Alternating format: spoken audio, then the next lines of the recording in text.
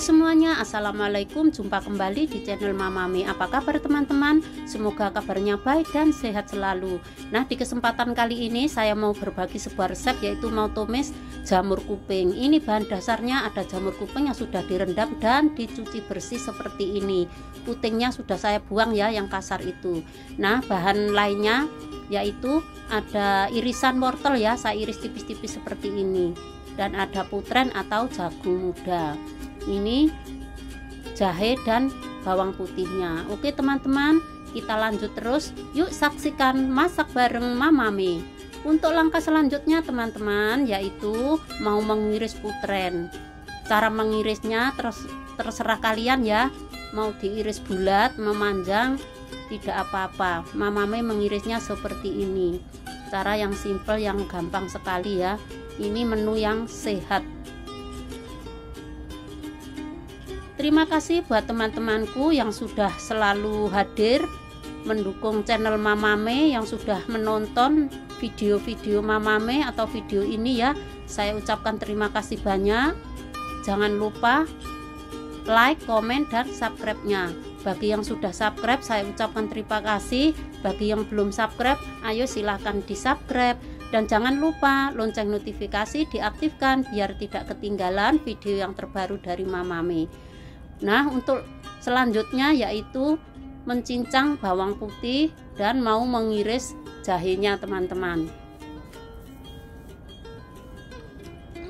Buat teman-teman yang lagi beraktivitas, silahkan beraktivitas, semangat-semangat terus. Semoga dilancarkan aktivitas dan dari segala urus-urusannya dimudahkan. Amin amin ya robbal alamin.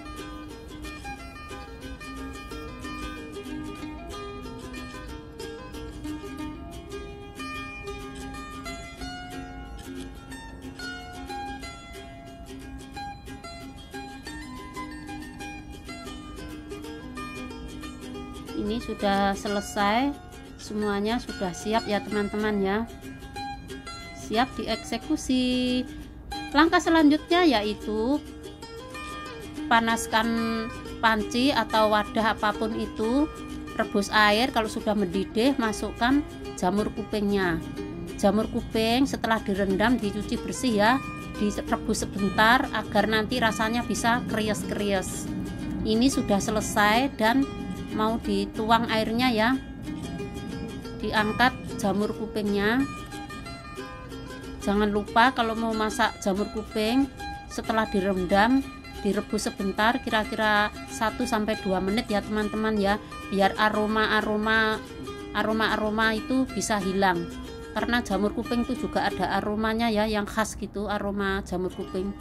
Nah ini kelihatan empuk dan mentul-mentul Langkah selanjutnya yaitu panaskan wajan, tuang minyak secukupnya dan tumis tuh bawang putih sama jahenya.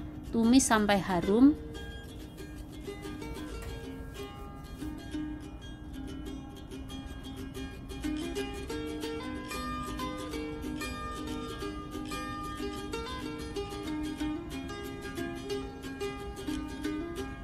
Masukkan jagung atau putren dan wortel. Ditumis diaduk-aduk ya teman-teman. Bahan-bahan saya ingatkan lagi ya. Saya tulis di kolom deskripsi. Silahkan dilihat di sana. Ini sudah setengah matang tambahkan air sedikit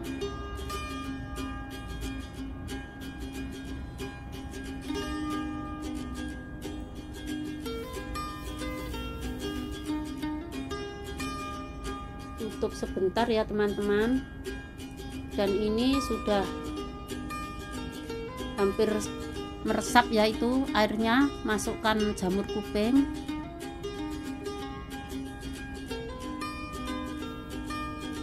Dan tinggal menambahkan gula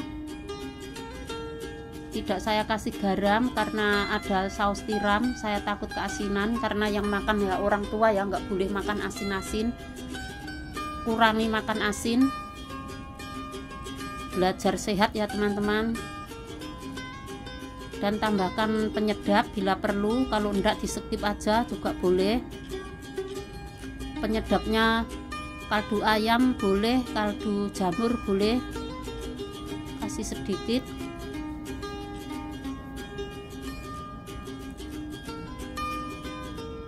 dan yang terakhir pengentalan yaitu kasih satu sendok makan tepung maizena kira-kira 2 sendok atau 3 sendok makan air.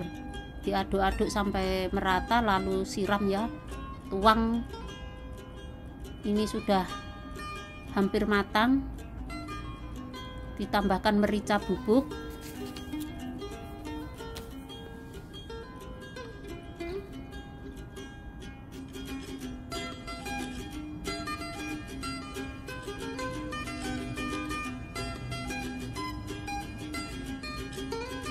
jangan lupa dites rasa teman-teman.